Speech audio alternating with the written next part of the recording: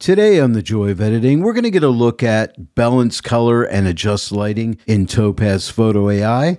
Stay tuned. Hello, everyone, and welcome to the Joy of Editing with Dave Kelly. Thank you for joining me today. Today, I'm pulling out Topaz Photo AI. This edit started out in Lightroom. I sent it into Photo AI as a raw file, denoised it, brought it back into Lightroom, and I've done no adjustments on it whatsoever, and I sent it into Photoshop from there. In my Photoshop workflow, I don't use Photo AI to adjust lighting or balance color on my images, but I thought, is this something that might be a good option for my starting point in Photoshop? So I thought I would examine that today. By the way, I want you to know there's a holiday sale going on over at Topaz Labs. I have links in the description below this video. Just click on my link, it'll take you over to the sale. If you use my link and purchase something, I make a small commission, and this helps support my channel. So I appreciate it when you do that. If you need to purchase some Topaz software, now's a good time to do it. And also keep in mind, this is a limited time only sale. I don't know how long this sale will last. All right, then let's dive right in. So the first thing I want to do is duplicate my background layer. I'm just going to do a Command or Control J. I'm going to right click on this image and let's click on convert to smart object. That way we can always go back in and retweak our adjustments in Topaz Photo AI. Now that I have my smart object, I'm going to come up here to filter, come to Topaz Labs and click on Topaz Photo AI. We'll launch it and get started. Now, here we are inside of Topaz Photo AI. Right now, we're zoomed into 100%. I'm going to click right here and change this to fit just so we can see the entire image.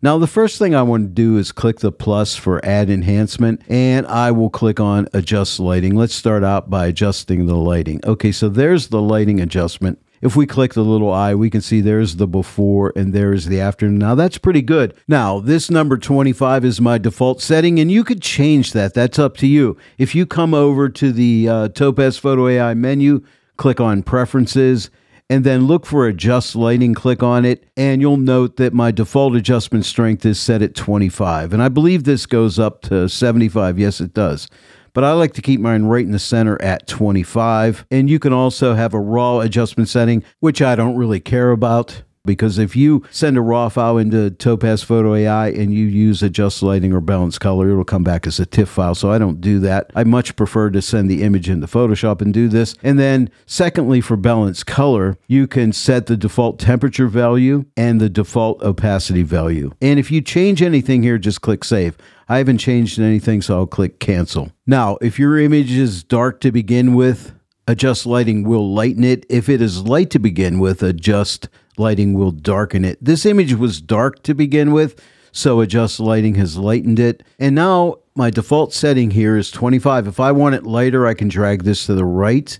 If I want it darker, I could drag it to the left. So I could set it anywhere I want. But for this image, I do like 25. Now remember, this is a smart filter, so I can always come back here in Topaz Photo AI and make readjustments if needed. Now let's add another enhancement. We can click right here, and this time we'll add balance color. And there is the result. Now on these different layers here, I can shut off the eye to shut off the balance color and click on the eye again and turn it back on. Okay, it looks pretty good. Now, I also have a temperature adjustment and an opacity adjustment. If I wanted to warm this up some more, I could drag this slider to the right or cool it off by moving it to the left. Or if I feel the balance color effect is too strong, I could pull back on the opacity to say, like, let's try 80% right here you know, and just tone that down just a little bit. And now let me come down to the bottom of the interface and click this eye. Here's the overall before, and now here's the after. And overall, I think it's a pretty good adjustment. This tree line back in here looks a little dark, but I'll show you how we would fix that in Photoshop. But for now, I think I'm done here in Topaz Photo AI, so I'll just click Export to Adobe Photoshop. And now here we are back in Photoshop. Let me shut this layer off. Here's before, and here is after.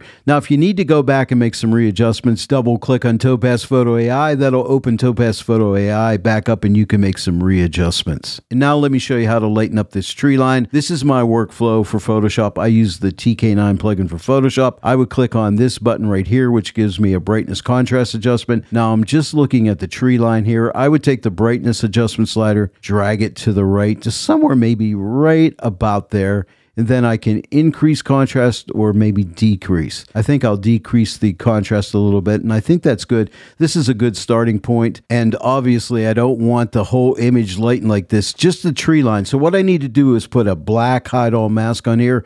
I could do a Command or Control I to put a black mask here, but if you have the TK9 plugin for Photoshop on the Commodore 6 panel, click on this black mask button and you'll hide your adjustment. Now I need to select this area, and it's really easy to do with the TK9 plugin for Photoshop, and let me show you how. I would click on this button on the multi-mask panel for a zone mask and click some of the dark tone in here and click OK on the color picker, and you can see the light area is isolating those trees.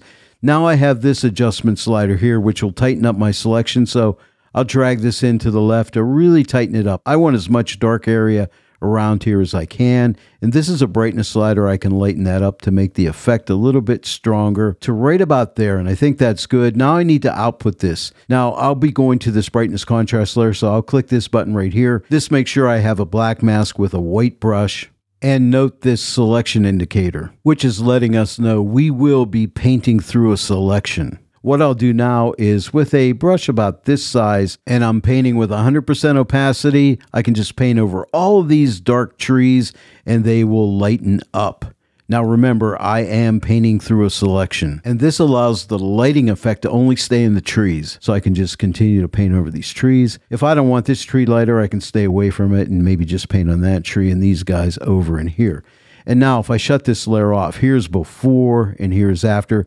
Now I can always come back here. If it's too light, I can pull back on the brightness a little bit just to darken it up, make it look a little more natural and maybe work with the contrast a little bit one way or the other. And I think that looks really good. Now let me shut this off. Here's before and here's after. So I think this is a really good starting point, starting out with Topaz Photo AI to adjust lighting and balance color and then I brought it back into Photoshop and lightened up this tree line. And now this image for me is ready to start to develop in Photoshop, which I would do using the TK9 plugin for Photoshop. Now on my TK9 combo panel, I have this button right here. If I click it, this is where I started out. This is the overall before. And if I click it again, this is the after. And as I said, this is a good starting point. I'm going to continue to work with balance color and adjust lighting and see if I really can incorporate this into my workflow. For this image, I think it really works, but I'll keep working with different types of images with Topaz Photo AI's balance color